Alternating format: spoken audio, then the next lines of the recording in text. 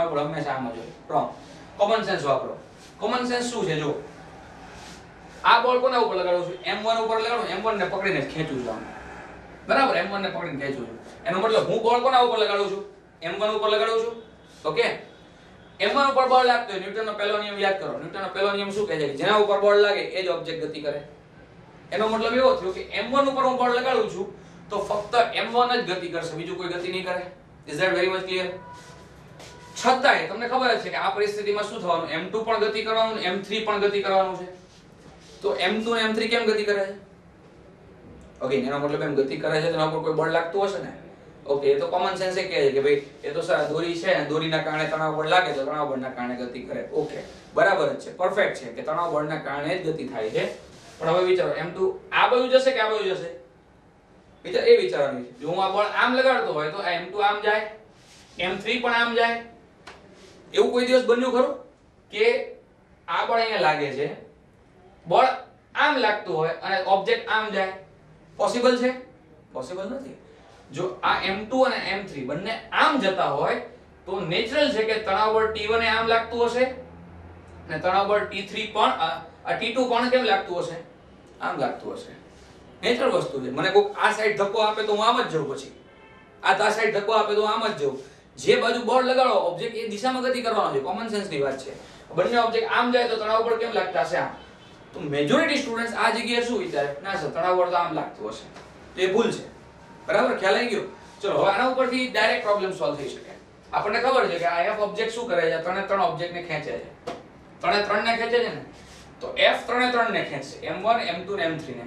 તો એમ કહેવાય કે m1 m2 અને એમ થ્રી ઇન્ટુ શું કરી દેવાનું? A. જ્યાં એ શું છે? આખા તંત્રનો પ્રવેગ છે.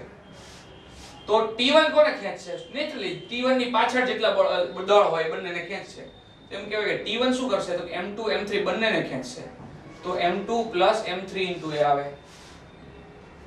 T2 કોને ખેંચશે તો કે M3 ને ખેંચશે તો M3 A આવે. આ ત્રણ ઇક્વેશન નો સેટ બની ગયો. બરાબર છે? આ ત્રણ ઇક્વેશન નો સેટ બની ગયો આપણો. જ્યારે તમારે a ની વેલ્યુ જો અહીંથી મળે અહીંથી તમે a ની વેલ્યુ કાઢી લો, તો શું મળે? F m1 m2 m3 આ a ની વેલ્યુ અહીંયા મૂકો અને આ a ની વેલ્યુ અહીંયા મૂકો, તો t1 અને t2 બંનેની વેલ્યુ તમને મળી જશે. ઓકે બંનેની વેલ્યુ તમને મળશે t1 અને t2 ની, તો t1 અને t2 તમને મળી જશે. તો આ એક પ્રેક્ટિકલ ટેકનિક થઈ આ ટેકનિક ટોટલી લોજિકલ રીતે મેં આ પર્ટિક્યુલર પ્રોબ્લેમ સોલ્વ કર્યો છે. હવે તમે ઘણી બધી જગ્યાએ હવે જે હું તમને ટેકનિક બતાવવા જઉં છું એ જોઈ હશે. કઈ ટેકનિક જુઓ જરા. મેજોરિટી લોકો શું કરે? આ દોરીમાં તણાવ બંધ દિશા આમ બતાવે એની બદલે શું કરે? બંને સાઈડ બતાવતા હોય. ઓકે આ ટેકનિક ખોટી નથી. આ રિલેટિવ ટેન્શન ફોર્સની ટેકનિક કહેવાય. બરાબર? સાપેક્ષ તણાવ બળની ટેકનિક જ્યારે આ બતાવે ને એનો મતલબ એમ થઈ ગયો કે આ બ્લોક ઉપર લાગતું એક ખેંચાણ છે ને આ સાઈડ છે. અને આ બ્લોક ઉપર લાગતું ખેંચાણ આ સાઈડ છે. એટલે આ તણાવ બળ છે ને આ બ્લોકની સાપેક્ષે ને આ તણાવ બળ આ બ્લોકની છે બંને શું કરે? અલગ અલગ વેલ્યુઝ આપે. અલગ અલગ વેલ્યુઝ આપે. તો હવે તમે જુઓ, જરા આ ટેકનિકમાં શું કરીએ છીએ? હંમેશા દોરીમાં બંને સાઈડ બળ લઈ લેવાના. ટેકનિક હોય ને ત્યારે. દોરીમાં બંને સાઈડ બળ લઈ લઈએ આપણે. તો હવે છે ને, પછી શું કરવાના? ઇક્વેશન લખવાનું ચાલુ કરવાનું. કે ભાઈ ચલો, આ m1 આ m2 ને m3 આને કહેવાય free body diagram FBD technique બરાબર છે? ફ્રી બોડી ડાયાગ્રામ વાળી ટેકનિક ફ્રી બોડી નો મતલબ શું? ફ્રી બોડી એટલે મુક્ત બોડી ભલે આપણે બધ- બોડી આમાં કેવી છે? આ બોડી આની સાથે, આ બોડી આની સાથે જોડાયેલી છે. પણ મારે એવું માની લેવાનું કે એ લોકો જોડાયેલા નથી. અને બધા બોડીઝ કેવા છે? અલગ અલગ જ છે એકબીજાથી. અને બંને બધા ઉપર શું લાગે? સ્વતંત્ર બળો લાગે છે એવું વિચારવાનું. તો જો હું વિચારું કે M1 ઉપર કયું બળ લાગે છે? તો કે M1A M1 ઉપર લાગતા બળને આપણે શું કહીએ છીએ? કે M1A કહીએ છીએ. તો સમજજો ધ્યાનથી હવે. એક તો F બળ છે. બીજું શું છે? T1 છે. F આમ લાગે છે T1 આમ લાગે છે, એટલે F T1 કર્યું. તો કોઈ કહેશે, સર T1 F કેમ ના કર્યું? તો કોમન સેન્સ એપ્લાય કરો કે ફોર્સ આ સાઈડ લાગે છે અને ઓબ્જેક્ટની ગતિ પણ કઈ સાઈડ છે? આ સાઈડ છે. તો નેચરલી આ સાઈડની દિશામાં લાગનારા જેટલા બળો હશે, કેવા હશે? બધા મોટા. અને આ સાઈડ બાજુ જે લાગતા બળો હશે, બધા કેવા હશે? નાના. તો એનો મતલબ એમ છે કે ફોર્સ મોટો, F મોટો અને T1 નાનો. તો હંમેશા મોટામાંથી નાનો બાદ કરવાની આદત રાખવાની. તો F T1 M1 ઉપર લાગતું બળ. m2 ઉપર લાગતું બળ શું? m2 એ. તો અહીંયા એક આ સાઈડ કયું બળ લાગે? તો કે t1 અને આ સાઈડ કયું બળ લાગે? તો t2 t1 t2 એ જ રીતે એમ થ્રી ઉપર લાગતું બળ કયું? M three A. અને આ સાઈડ લાગતું બળ કેટલું? t2 આ સાઈડ લાગતું બળ? તો કે છે જ નહીં. ઓકે? એ સાઈડ કોઈ બળ જ નથી લાગતું. તો ધેટ મીન્સ આપણને ત્રણ ઇક્વેશન મળી ગયા. ત્રણે ત્રણ ઇક્વેશનનો સરવાળો કરીએ આપણે. તો સરવાળો શું કહે છે? M1 m2 m3 into a. અહીંથી આ ડાબી બાજુ સરવાળો થઈ જશે. અહીંયા જો t1 t1 ઉડી ગયું. T2 t2 ઉડી ગયું. ખાલી વધે છે શું f? પહેલું ઇક્વેશન આવી ગયું આપણું. બરાબર? હવે શું કરીએ? આ જો આ ત્રીજું ઇક્વેશન છે. M3a is equal to t2 અહીંયા પણ જો t2 is equal to m3 એટલે બીજું ઇક્વેશન પણ આવી ગયું. આના ઉપરથી. હવે જો t1 શોધવું હોય તો પહેલા ઇક્વેશન ઉપરથી મળે. T1 એટલે શું થઈ જાય? T1 આમ લઈ જાઓ, એટલે t1 f અહીંયા ને m1 એ આમ લઈ જાઓ તો f m1a હવે f ની વેલ્યુ આપણે શોધીએ હમણાં જ. કઈ છે? M1 m2 અને m3a છે. એટલે કે m1a m2a m3a ને છેલ્લે આપણે શું કરવાનું? M1a બાદ કરી નાખો. M1a m1a જતું રહે તો m2 m3 into a આવે. બરાબર? આવું કંઈક થાય. T બરાબર m2 m3 into a. તો તમે જો આ t1 બરાબર સોરી આ ત્રીજું ઇક્વેશન પણ મળી ગયું. જો આપણે આ ત્રણ ઇક્વેશન લાવ્યા હતા, કયા ટેકનિકથી લાવ્યા હતા? કોમન સેન્સની લોજિકલ ટેકનિકથી લાવ્યા હતા. ન્યૂટનનો પહેલો નિયમ આમ છે ને તેમ છે એવી દલીલ, દલીલબાજી કરી ટૂંકમાં. અને આ ફ્રી બોડી ડાયાગ્રામની ટેકનિકથી મેં એ જ ઇક્વેશન ડિરાઈવ કર્યા બધા. બરાબર છે? એટલે એનો મતલબ એમ છે કે બંને ટેકનિક સાચી છે. કોઈ ખોટી નથી. કઈ પરિસ્થિતિમાં કઈ ટેકનિક વાપરવી અને કઈ ટેકનિક ફટાફટ થાય, એનું જજમેન્ટ છે ને આપણે લેવાનું હોય. અને આને સ્કિલ કહેવાય. બરાબર છે? દુનિયાની કોઈ બુકમાં આ સ્કિલ ના મળે શીખવા માટે. બરાબર છે? અને આ વસ્તુ છે ને ઇનબિલ્ટ હોય. તમારામાં હોય, મારામાં હોય.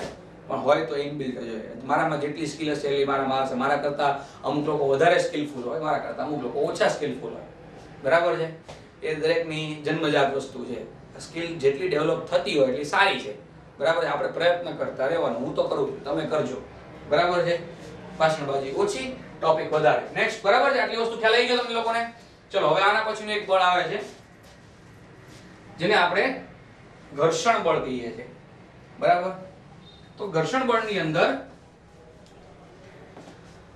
ઘણા બધા ટોપિક એવા છે કે જે બેઝિકલી નાના નાના છે અને એની અંદર પ્રોબ્લેમ સાથે સાથે મારે ભણાવવા પડે.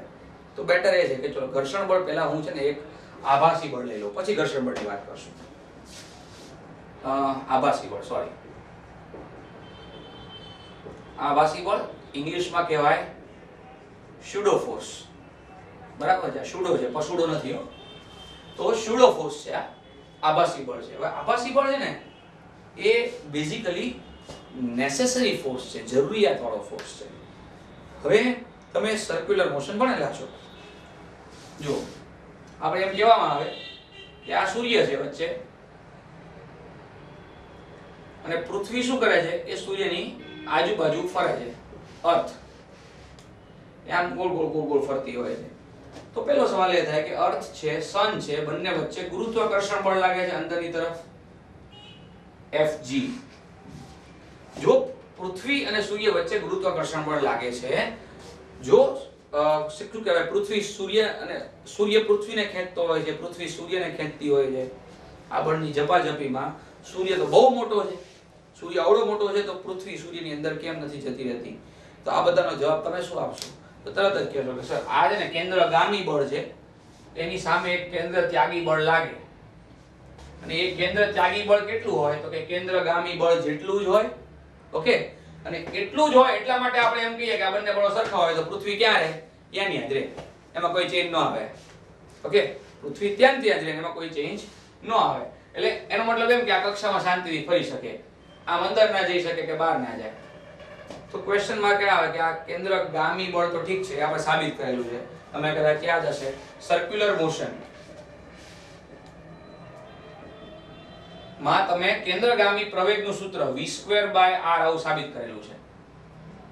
અને એના ઉપરથી f બરાબર જો તમે ma કરો, બરાબર છે, તો mv સ્ક્વેર બાય r. આ કેન્દ્રગામી બળનું સૂત્ર આવે. બરાબર છે? એટલે આપણો કેસ, આ જે પૃથ્વી અને સૂર્યનો જે કેસ છે, એમાં કેન્દ્રગામી બળનું સૂત્ર શું છે? Mv square by r. પણ આપણા આ કેસમાં કેન્દ્રગામી બળ કેવું છે? ગુરુત્વાકર્ષણ બળ છે. એટલે આ કેન્દ્રગામી બળની જગ્યાએ હું શું મૂકું? ગુરુત્વાકર્ષણ બળ મૂકું અને એના બરાબર આપણે એમ કહેવાય કે mv સ્ક્વેર બાય r થાય. એટલે હકીકતમાં mv સ્ક્વેર બાય r કેવું છે? અંદરની તરફ લાગતું બળ છે જે આ કેસમાં એ ગુરુત્વાકર્ષણ બળ છે. ધારો કે એક દોરી હોય, દોરીના છેડે પથ્થર બાંધેલો છે કોઈ છોકરો છે શું કરે છે? એમ ગોળ ગોળ ગોળ ગોળ ફેરવે છે. બરાબર છે? તો પણ શું થશે? આમ ગતિ થશે આખી એની? તો આ પરિસ્થિતિમાં કેન્દ્ર તરફ જે લાગતું બળ હશે કયું હશે? દોરીમાં ઉદ્ભવતું તણાવ બળ હશે. દોરીમાં ઉદ્ભવતું તણાવ બળ. તો આ કેસમાં કેન્દ્રગામી બળ કયું? તણાવ બળ છે. અને પણ આપણે સોરી કેન્દ્રગામી બળનું સૂત્ર તો આપણે હમણાં જોયું, બરાબર? mv સ્ક્વેર બાય r પણ આપણા કેસમાં કેન્દ્રગામી બળ શું છે? તણાવ બળ છે. તો t બરાબર mv સ્ક્વેર બાય r આવું થશે. ઓકે તો દરેક જગ્યાએ બળોની પરિસ્થિતિમાં mv સ્ક્વેર બાય r મૂલ્ય, આ mv સ્ક્વેર બાય r ની વેલ્યુ કેવી હોય? અલગ અલગ હોય. આ કેસ હોય તો તણાવ બળ હોય, આ કેસ હોય તો ગુરુત્વાકર્ષણ બળ હોય. ન્યુક્લિયસ અને ઇલેક્ટ્રોનનો કેસ લો. તો એ જગ્યાએ કેન્દ્રગામી બળ mv સ્ક્વેર બાય r બરાબર શું થાય? કુલમ બળ થાય fg. તો એ તો ઠીક છે. આપણા માટે એ વસ્તુ મહત્વની નથી. પણ દરેક વખતે આ જે સૂત્રો મળે કોના મળે છે?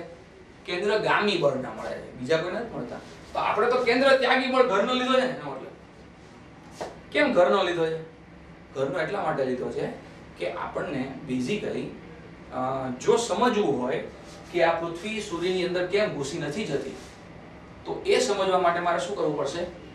એ સમજવા માટે મારે એક બળ આવું તો લેવું જ પડશે કે જેનાથી હું કન્ફર્મ કરી શકું મારી જાતને ખરેખર થતું નથી. તો એ વસ્તુ સમજવા માટે મારે એક બળ વધારાનું બહારની સાઈડ લેવું પડે.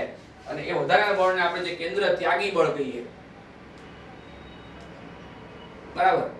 તો આ કેન્દ્ર ત્યાગી બળ જે છે, એ કેવું બળ છે? આભાસી બળ છે. જે આપણે ઘરનું લીધેલું છે. શું સમજવા માટે? કે ખરેખર આ ઘટના સમજવી હોય, તો આ વસ્તુ લીધા વગર ચાલે એમ નથી. ધેટ્સ ઓલ ખ્યાલ આવ્યો તમને લોકોને બધાને? તો હંમેશા યાદ રાખજો, આભાસી બળ છે ને, એ આ પ્રકારનું બળ છે. હું બતાવું, આભાસી બળના અલગ અલગ એક્ઝામ્પલ્સ આપણી પાસે છે. બરાબર? તો એ એક્ઝામ્પલ્સમાં બહુ ફેમસ એક્ઝામ્પલ છે, બહુ સારું એક્ઝામ્પલ છે. દરેક દરેક બુકમાં લગભગ આ એક્ઝામ્પલ મળે. બરાબર છે, અને હું એક્ઝામ્પલ રિપીટ કરું છું. બરાબર છે? એનું કારણ જે છે, મેં તમને કીધું. આ એક ટોપિક એવો છે કે જે બહુ ફંડામેન્ટલી ભણવો છે આપણે. ભલે ટેક્સ્ટબુકના લેવલે ભણવો પડે. પણ એટલીસ્ટ આ લેક્ચર ભણ્યા પછી તમને એમ લાગશે કે જે વસ્તુ એક્ઝેક્ટલી નહોતા જાણતા પાર્શિયલી પાર્શિયલી આછી પાતળી જાણતા હતા આપણે, એ આજે આપણી પૂરી થઈ ગઈ. બરાબર છે? તો લિફ્ટના કેસીસ બરાબર છે? ધારો કે લિફ્ટ છે. લિફ્ટની અંદર એક માણસ સ્થિર ઊભો છે. બીજો કેસ એવો લેવો છે કે લિફ્ટ છે. લિફ્ટની માણસ ઊભો છે અને લિફ્ટ છે ને પ્રવેગ જીરો છે, અચળ વેગથી ઉપર જાય છે. ત્રીજો કેસ એવો છે કે આ લિફ્ટ છે એની અંદર આ માણસ ઊભો છે અને આ લિફ્ટ પ્રવેગ નથી, પણ અચળ વેગથી નીચે આવે છે. અને આ તો કેવું છે, સ્થિર જ છે. V પણ 0 છે ને એ તો 0 હોય જ. બરાબર? ત્રણે ત્રણ કેસ જો આમાં પણ a0 આમાં પણ a0 અને આ પણ a0 a એટલે પ્રવેગ. પ્રવેગ શૂન્ય છે. એટલે એમ કહેવાય કે આ જડત્વીય ફ્રેમની વાત છે. જડત્વીય ફ્રેમ જડત્વીય ફ્રેમ એટલે કેવી ફ્રેમ કે જે ફ્રેમ પ્રવેગિત ગતિ કરતી નથી, એટલે કે જે સ્થિર છે અથવા તો અચળ વેગથી કહેવાય ને કે ગતિ કરે છે. તો આ ત્રણે ત્રણ કેસમાં કોઈ મને કે આ માણસનો જો દળ એમ હોય, હું છે ને આ લિફ્ટ છે, લિફ્ટના ઉપરના ભાગમાં ઇન્ડિકેટર આપેલા છે. જેવો માણસ લિફ્ટમાં ઘૂસે, તેનું જે વજન હોય ને લિફ્ટમાં ઉપર બતાવવાનું ચાલુ થઈ જાય.